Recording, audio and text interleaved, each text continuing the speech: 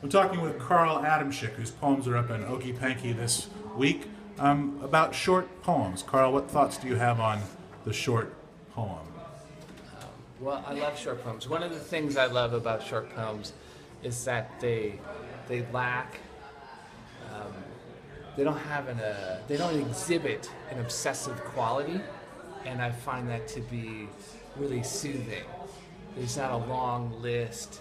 There's uh, there's one thing usually represented there to represent uh, the world that you can sort of grab onto and sort of understand.